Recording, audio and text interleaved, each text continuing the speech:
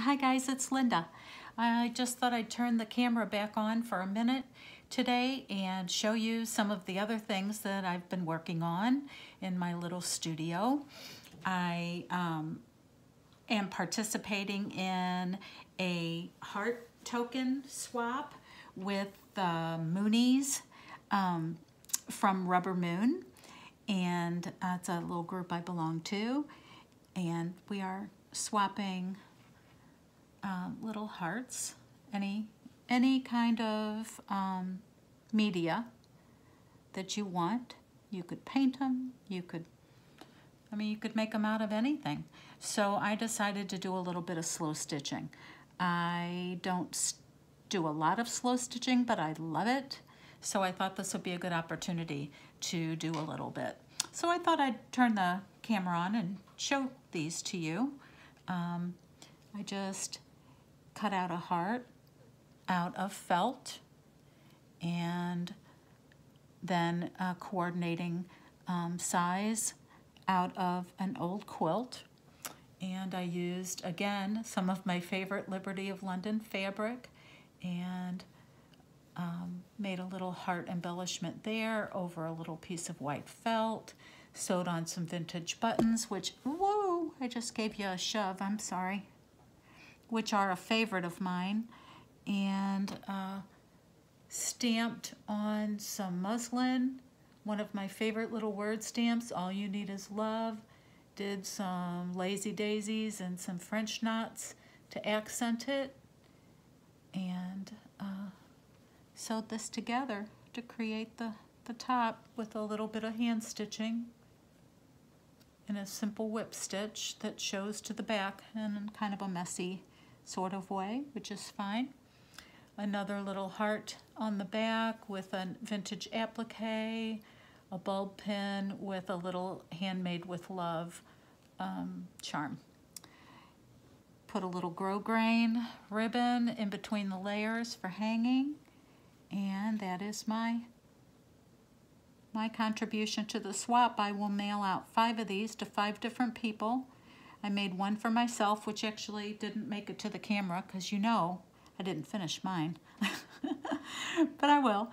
And I'm going to get five in the mail. So that's going to be exciting. I haven't received the first one yet, but they'll be coming soon. So I'm going to show you each one. They're just a little bit different, different choices of buttons, a little different um, spot in the quilt, which kind of dictated what other colors I used. So you can see backs here. I love being able to use um, some of my beloved vintage quilts and buttons.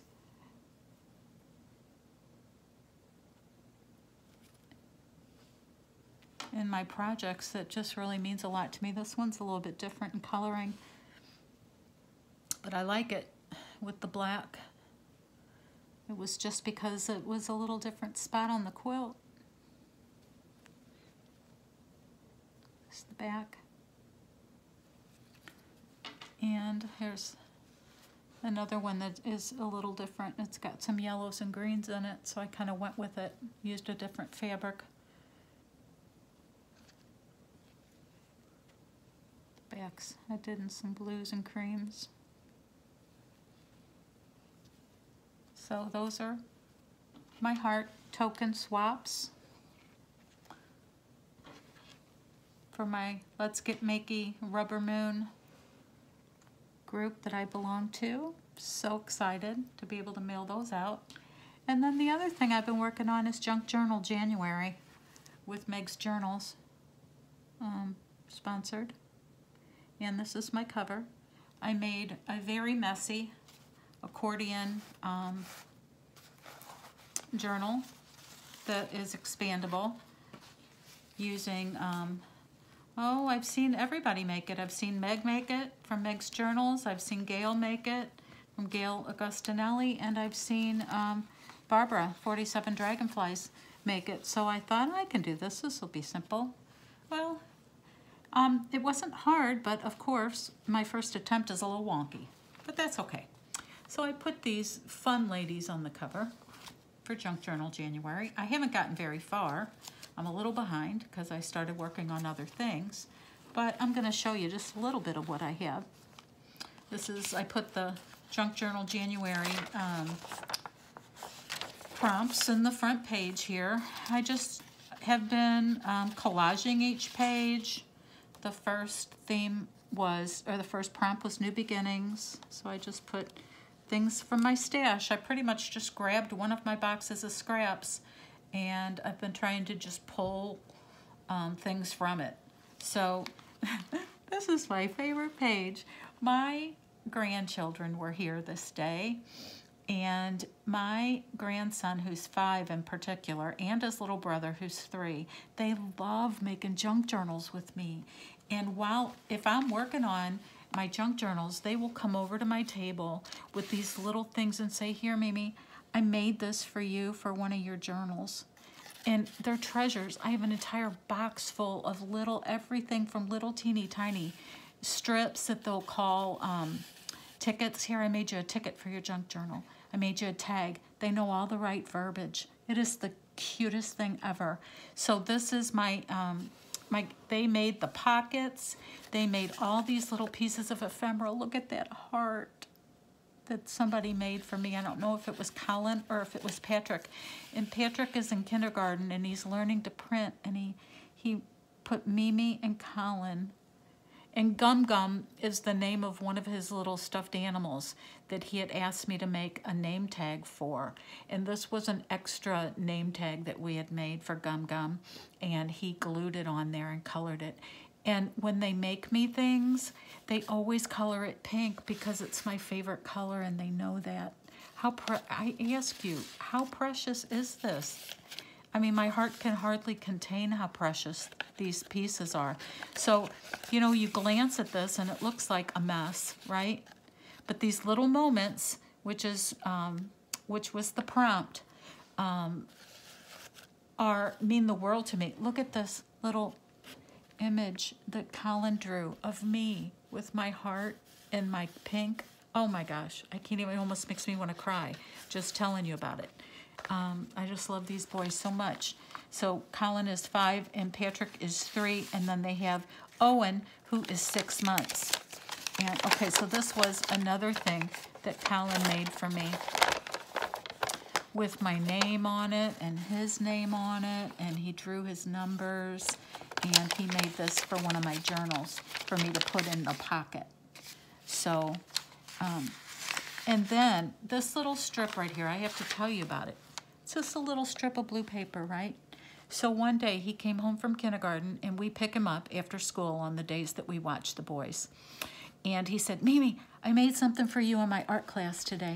He had painted a piece of white paper with blue and it was really pretty. He had blue paint all over it and he cut it into strips for my strip basket because I have a basket that I keep just strips for my junk journals and he cut this beautiful piece of artwork into strips for my strip basket for me to use in my journals.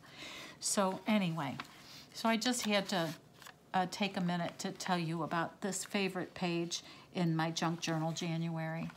And then uh, moving on, this was a crazy rotten day that I had. I don't have many of those. Really, I don't have many of those. but this was one.